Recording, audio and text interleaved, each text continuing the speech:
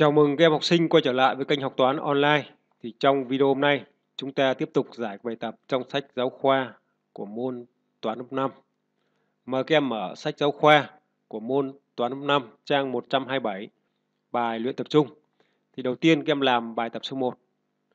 Cho hình thang vuông ABCD, các em xem hình vẽ. Hình thang vuông A, B, C, D. Thì các em biết hình thang vuông là hình có một cạnh bên vuông góc với hai đáy.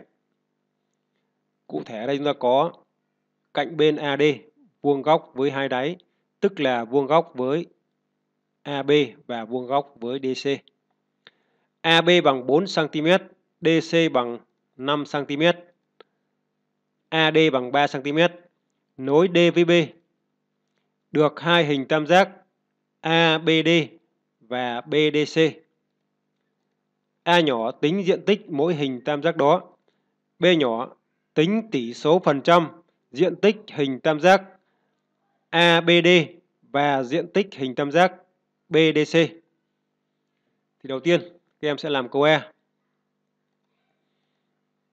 Câu A là tính diện tích của mỗi hình tam giác đó, tức là các em tính diện tích của hình tam giác ABD và diện tích của hình tam giác BDC.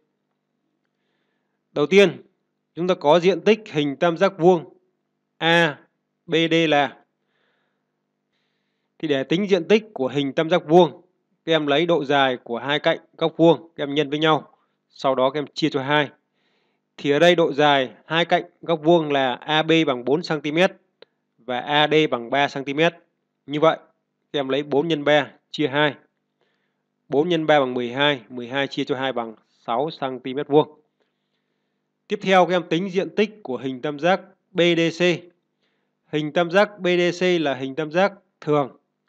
Như vậy, muốn tính diện tích của một hình tam giác thường thì các em lấy độ dài cạnh đáy nhân với chiều cao, sau đó chia cho 2.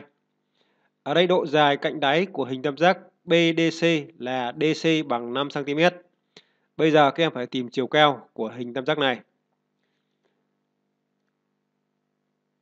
Đem kẻ BH vuông góc với DC.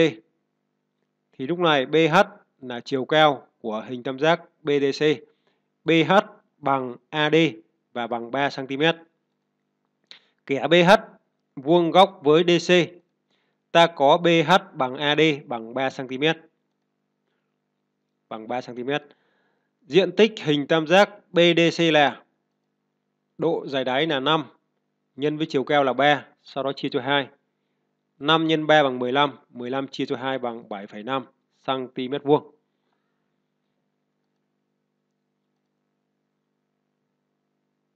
Tiếp theo các em sang câu B. Chúng ta có tỷ số phần trăm của diện tích hình tam giác ABD và diện tích hình tam giác BDC là Diện tích hình tam giác ABD bằng 6 cm vuông, diện tích hình tam giác BDC bằng 7,5 cm vuông. Như vậy các em tìm tỷ số phần trăm của 6 và 7,5. Muốn tìm tỷ số phần trăm của 6 và 7,5, đầu tiên các em tìm thương của chúng, tức là lấy 6 chia cho 7,5 bằng 0,8. Sau đó các em lấy 0,8 nhân với 100 bằng 80 và cuối cùng các em thêm ký hiệu phần trăm vào bên phải của số 80 thì các em được kết quả bằng 80%. Như vậy các em có đáp số câu E 6 cm vuông, 7,5 cm vuông và câu B là 80%. Tiếp theo mời các em sang bài tập số 2. Cho hình bình hành MNPQ. Các em xem hình vẽ có MN bằng 12 cm, chiều cao KH bằng 6 cm. So sánh diện tích hình tam giác KQP với tổng diện tích của hình tam giác MKQ và hình tam giác KNP. Ở đây chúng ta có hình bình hành mà NPQ.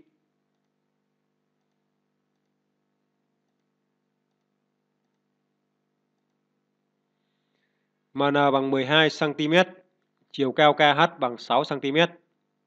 So sánh diện tích của hình tam giác KQP, tức là diện tích của hình tam giác màu xanh với tổng diện tích của hình tam giác MKQ và hình tam giác KNP, tức là với tổng diện tích của hai hình tam giác màu trắng.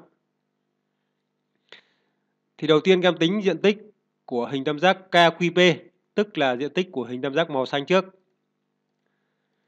Diện tích hình tam giác KQP là các em lấy độ dài cạnh đáy nhân với chiều cao sau đó chia cho 2. Độ dài cạnh đáy tức là độ dài cạnh QP mà QP thì bằng MN và bằng 12 cm. Như vậy các em lấy 12 nhân với chiều cao là 6. Sau đó chia cho 2. 12 nhân 6 chia 2 bằng 36 cm vuông. Bây giờ các em tính tổng diện tích của hai hình tam giác màu trắng bằng cách lấy diện tích của hình bình hành MNPQ trừ đi diện tích của hình tam giác màu xanh. Mà diện tích của hình tam giác màu xanh bằng 36 cm vuông. Như vậy bây giờ các em tính diện tích của hình bình hành MNPQ trước. Diện tích hình bình hành MNPQ là muốn tính diện tích của hình bình hành thì các em lấy độ dày đáy nhân với chiều cao. Độ dày đáy là MN bằng 12 nhân với chiều cao là 6. 12 nhân 6 bằng 72 cm vuông. Bây giờ các em lấy diện tích của hình bình hành trừ đi diện tích của hình tam giác màu xanh thì các em tìm được tổng diện tích của hai hình tam giác màu trắng, tức là lấy 72 trừ 36. Tổng diện tích của hình tam giác MKQ và hình tam giác KNP là các em lấy diện tích của hình bình hành là 72 trừ đi diện tích của hình tam giác màu xanh là 36 thì các em được kết quả bằng 36 cm vuông. Vậy các em kết luận là diện tích hình tam giác KQP tức là diện tích của hình tam giác màu xanh bằng tổng diện tích của hình tam giác MKQ và hình tam giác KNP. Tiếp theo các em sang bài tập số 3. Trên hình vẽ bên, hãy tính diện tích phần đã tô màu của hình tròn. Ở đây chúng ta có hình tròn màu xanh và hình tam giác màu trắng. Thì muốn tính diện tích phần đã tô màu của hình tròn. Các em lấy diện tích của hình tròn trừ đi diện tích của hình tam giác màu trắng thì các em tìm được diện tích phần đã tô màu. Ở đây chúng ta có AB bằng 3 cm, BC bằng 4 cm và AC bằng 5 cm. Các em nhớ AC ở đây cũng chính là đường kính của hình tròn, tức là đường kính của hình tròn bằng 5 cm. Như vậy các em dễ dàng tìm được bán kính bằng cách lấy 5 chia cho 2, bởi vì bán kính thì bằng bằng nửa đường kính. Như vậy, chúng ta sẽ giải bài toán này như sau. Đầu tiên là các em tìm diện tích của hình tròn. Sau đó, các em tính diện tích của hình tam giác màu trắng. Và cuối cùng, các em lấy diện tích của hình tròn trừ đi diện tích của hình tam giác màu trắng. Thì các em tìm được diện tích phần đã tô màu. Muốn tìm diện tích của hình tròn thì các em lấy bán kính nhân với bán kính, sau đó nhân với số 3,14. Ở đây bán kính của hình tròn là lấy đường kính chia cho 2, 5 chia 2 bằng 2,5 cm. Như vậy diện tích của hình tròn là bán kính nhân bán kính nhân với số 3,14 bằng 19,625 cm vuông. Bước tiếp theo là các em tính diện tích của hình tam giác màu trắng, tức là diện tích của hình tam giác vuông ABC. Tiếp theo các em tính diện tích của hình tam giác vuông ABC. Thì muốn tính diện tích của hình tam giác vuông ABC, các em lấy độ dài của hai cạnh góc vuông. Các em nhân với nhau, sau đó được kết quả bao nhiêu? Các em chia cho 2. Cụ thể ở đây, độ dài của hai cạnh góc vuông là 3 cm và 4 cm. Như vậy các em lấy 3 nhân 4, sau đó các em chia cho 2. 3 nhân 4 bằng 12, 12 chia cho 2 bằng 6 cm vuông. Như vậy, chúng ta có diện tích phần đã tô màu của hình tròn là các em lấy diện tích của hình tròn là 19,625. Các em trừ đi diện tích của hình tam giác vuông là 6 thì các em được kết quả là 13,625 cm vuông. Như vậy các em có đáp số là 13,625 cm vuông. Thì như vậy video hôm nay xin được kết thúc ở đây. Cảm ơn các em đã dành thời gian để theo dõi video. Nếu cảm thấy video chia sẻ là hữu ích thì các em vui lòng bấm vào nút like và nút share để chia sẻ cho nhiều người cùng xem.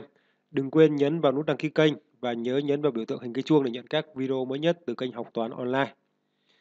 Để nhận được các tài liệu về môn toán lớp 5, các đề ôn tập, ôn thi và toán nâng cao thì các em vui lòng theo dõi fanpage của học toán online trên Facebook theo đường link đặt ở phần mô tả của video.